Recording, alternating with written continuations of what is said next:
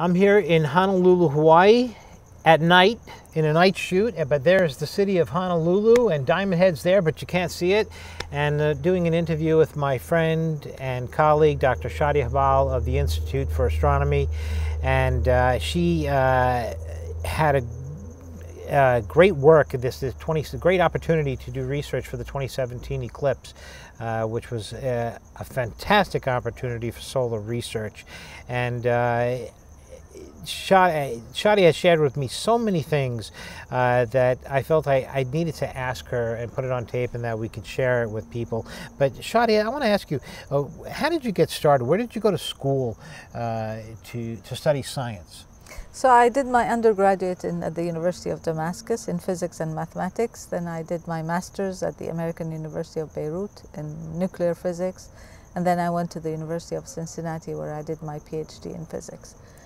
So it wasn't until I went as a postdoctoral fellow to Boulder that I ended up starting to do research in solar physics. Solar. And that was the beginning of my uh, passion for and, solar physics. Okay. Yeah. And when did you uh, start to do solar research on your own and go on the ground and look at a solar eclipse, study there?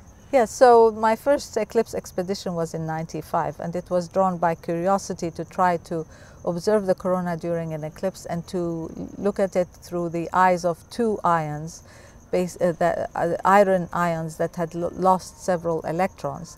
And uh, each one of them has a different uh, temperature sensitivity. So we wanted to explore how the temperature in the corona changes.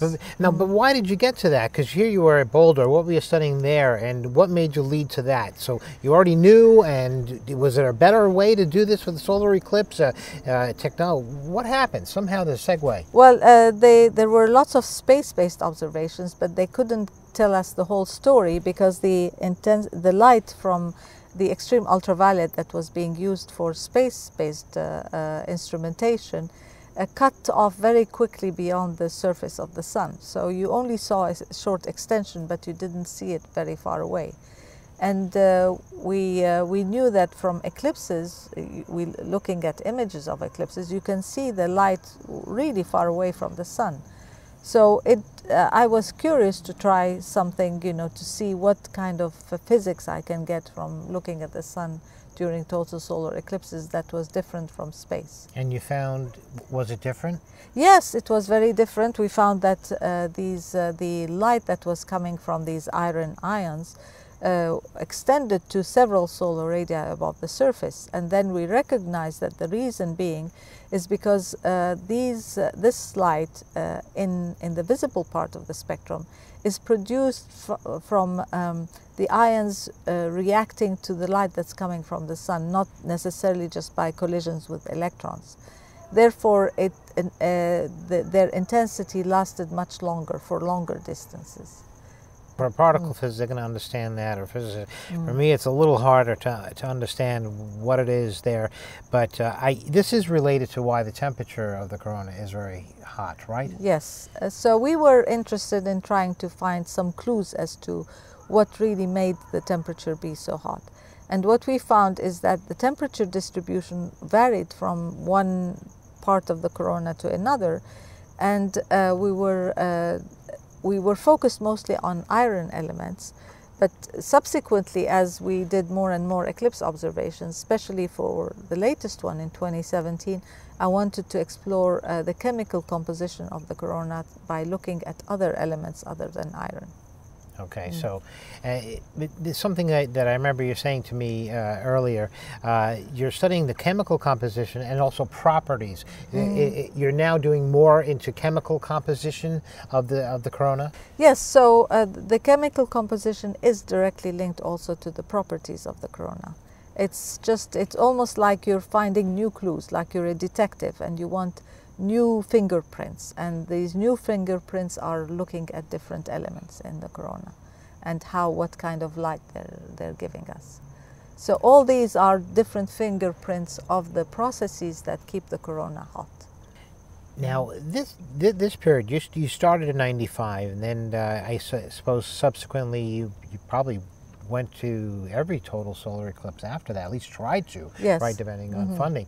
And space uh, spacecraft were also being deployed. Mm-hmm. So you're working in tandem, working together, and maybe some are showing more than others. But it's true that recently, in ground-based observations of, of total solar eclipses are showing uh, great data that Mm-hmm. maybe is not showing in, in, in spacecraft. Is that true? Yes, because uh, with the spacecraft that are currently uh, operational, you have uh, either the extreme ultraviolet, which I told you uh, cuts off very close to the sun, so you lose information very quickly as to what happens to the to the to the particle particles afterwards. Uh, with the eclipse, you can start from the solar surface and go out to several uh, radii, solar radii. And at present, there isn't any spacecraft, uh, whether or, or a telescope on the ground that has this capability. It's just because during a total solar eclipse, the background sky is dimmed so much that you can see the corona like you see stars at night, or you can see, uh, you know, the moon at night. Now, August uh, 2017, this was a great opportunity. I know for me, uh, when I was 14 years old, uh, 1979, I saw my first total solar eclipse with the Vanderbilt Planetarium and the Hayden Planetarium in Winnipeg, Manitoba. And immediately, when's the next total solar eclipse in America? August 21st, 2017. 38 years later, I had to wait to see my first total solar eclipse in the United States. Uh, this is a big one in that it's a coast to coast eclipse in the United States. Uh, we're, we're here, we're doing our research in the US, but coast to coast, you're giving us this, this much path for us, uh, 90 minutes for the, the shadow of the moon to, to cross, and, and technically being on ground, 90 minutes of possible real changing time uh, on the corona. Uh, tell me about what your plans were. How long have you had them, and uh, what what were you able to do? Uh, I know there's probably a lot of things you weren't able to do, but I want to know what what were you able to do? So we started to plan for this eclipse in 2012, and I realized that this was a fantastic opportunity to have multiple observing sites across the country. A minimum of 10 was my original plan, and to have uh, identical instrumentation to maximize our chances of observing, but also to see the variations in the corona, both in uh, uh, temperature or, or uh, you know, changes in the structures in the corona over these 90 minutes. Uh, at the end of the day, uh, we didn't get enough funding for this more ambitious plan, so we ended up with five observing sites from Oregon to, uh, uh, to Nebraska. And uh, what we found How much in- time is that, by the way? uh, about uh, f- uh, 30 minutes. 30 minutes of Yeah. change in, in yeah, dynamics. 38 Earth. to tell, okay. uh, yeah, to be, yeah. So uh, what we found is we found um, uh, we had the instrument, our instrumentation had improved tremendously since our first observations. We had very, very fine uh, resolution images and we could see exactly how the distribution of the temperature in the corona varied from one place to another, how the different iron lines were uh, emitting uh, light in different regions, and by comparing the images, you can really see the distinction between them. Uh, can you tell me why is this important to, to, to look at this? I mean, is related to space weather? Is Space weather, space, sorry, space weather important? Uh, well, you know, what what are we learning? What can we learn? How does this relate to everything? I know the sun is a star, and it's all the stars in all astronomy, so there has to be that. But uh, also that how it affects us here on Earth. Uh, can, Right. So uh, the corona is not just limited to to the sun. It basically expands and escapes from the sun in the form of what uh, Gene Parker gave it the first name, the solar wind. And this solar wind has uh, has properties that change as a function of time, or even uh, as a function of time. There are uh, sometimes it's very fast, uh, 800 kilometers per second. Sometimes it's slow, two or 300 kilometers per second. So we really want to go back to the to the source at the sun to understand where this wind is coming from and what is causing it to sometimes be fast, sometimes be slow. When it's fast, its uh, impact on the Earth's magnetic environment is very strong and it can uh, enable uh, energetic particles to penetrate not just the auroral regions, uh, the polar regions, but to go to much lower latitudes. And, the, uh, and also, uh, this impact can also affect our communication satellites. So it's not just a understanding a fundamental physical process or physical system in our universe, but it's also trying to understand the implications for our civilization. Oh, oh okay. Um, in, in this eclipse, uh, I remember you, you, mentioned to me uh, personally that um, you, there was, oh, actually, I saw it in the AAS conference. Uh, you announced that prominences, which is something that we could see uh, with our naked eye during a total solar eclipse, something I was uh, screaming about in my flight, uh, Alaska Flight 870 out the window. I could see the prominences. The, the reddish tint, the, the pinkish hue of the chromosphere is actually visible during mm. totality. And um, I believe that in your observations, you discovered something relating to prominences with the corona. Mm -hmm. There's been a, a, correlation, or at least, or yeah, so what we found is uh, you can think of, of uh, that prominences are the very, very cool uh, structures in the corona. The gas is at uh, 10,000 degrees instead of a million, but it's a hundred times denser. So the big uh, surprise or question or uh, mystery is how does this gas that's so dense and so cool uh, protrude into the corona and survive there without getting to be hotter. It's almost like you put a, an ice cube in the oven and it stays as an ice cube. Hmm. so it's, it's that strange. And we found from our eclipse observations that the prominence is always surrounded by the hottest material in the corona.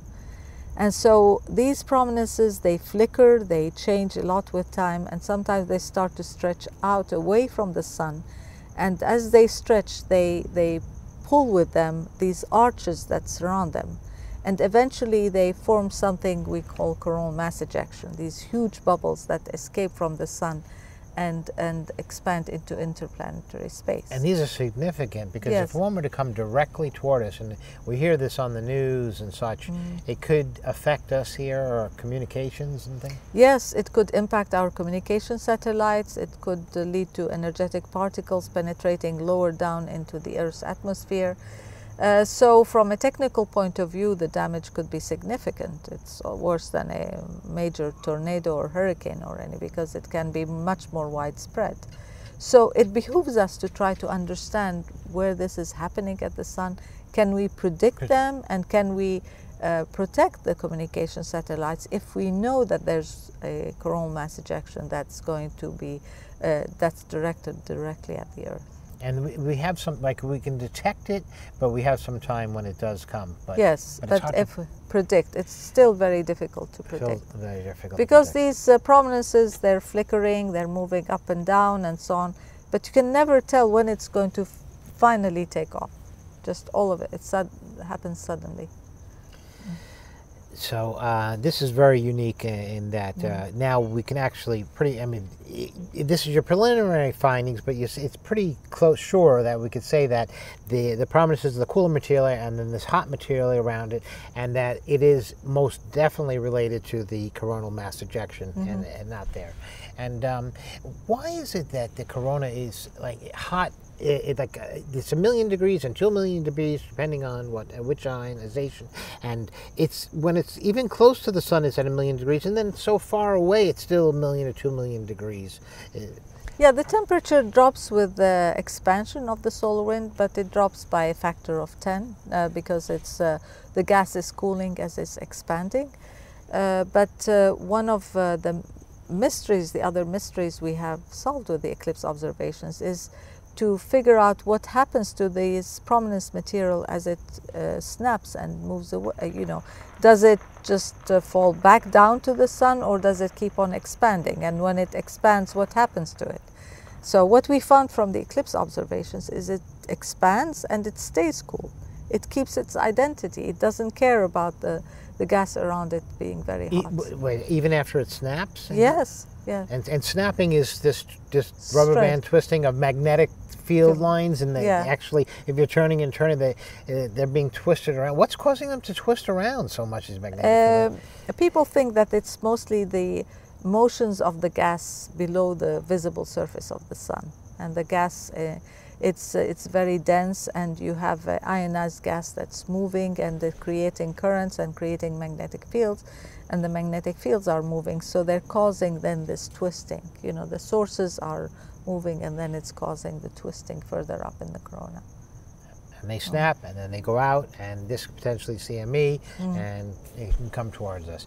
Um, what are your plans for uh, the next total solar? There's, there's going to be another one in, two, in next year, 2019. Yes. And uh, is that so, South America? Yes. Yeah.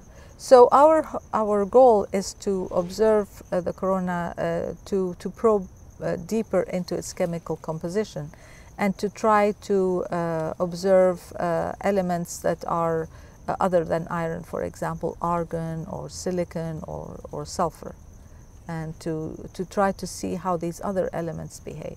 So now we kind of have an idea how iron behaves, the different ionization states of iron. Now we want to explore other chemicals because these are the fingerprints that are going to tell us what the sun really is doing. And by knowing mm. the chemical composition, perhaps we'll, have a better understanding of how the sun is really ticking mm -hmm. and, uh, and further and what's going, and then possibly for prediction. Yes. And okay.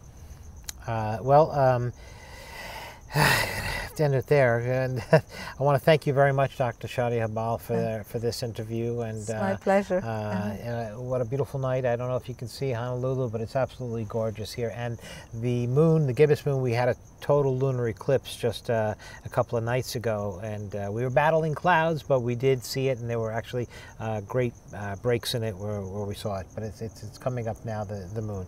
But um, thank you very much, Dr. Habbal. Okay. Thank you. Thank you.